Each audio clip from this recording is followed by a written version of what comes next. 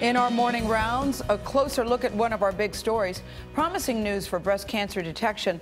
The largest study of its kind found 3D mammograms uncovered significantly more invasive cancers than traditional scans alone. The new technology also reduced follow up tests and increased detection for all breast cancers. Our Dr. David Agus leads the Westside Cancer Center at the University of Southern California. He's in Los Angeles. Doctor, good morning. Good morning, Nora. Okay, first let's talk about this. What is 3D mammography? Well, a normal mammogram takes two pictures like this and like this. 3D mammogram goes across the breast and every millimeter taking a picture and then building it up into a 3D reconstruction so you can see in much higher resolution. Why is it better? Well, you can see better. And so when you look at a normal 2D mammogram, you can start to see uh, uh, small little dots that could be cancer. But when you look every millimeter, you see a lot more.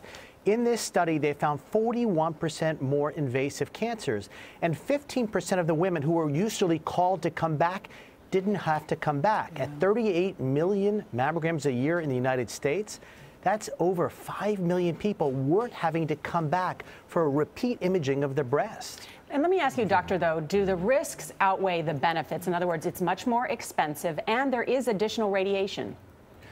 Well, it's slightly more expensive, and so many centers are charging a premium, but a lot are charging a premium anywhere from 50 to $70. Mm. It is slightly more radiation, but the newer technologies will lower that. But picking up 41% more invasive cancers, which are the kind that are going to cause a problem, we hope and we think will have a significant benefit in the long run.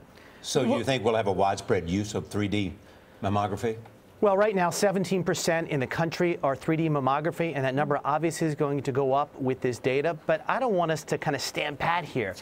X-rays are over 100 years old, and yeah. shooting electrons or energy through a woman's breast with radiation is not the be-all to end-all. We have to reinvent the wheel. The military can see a fish a mile away and describe it why can't we develop a better technology to look inside yeah. the breast than shooting radiation through it? And that doesn't involve mashing it as flat as a pancake, because I know you probably never had one, but it's extremely uncomfortable. Do you ever see that technique changing?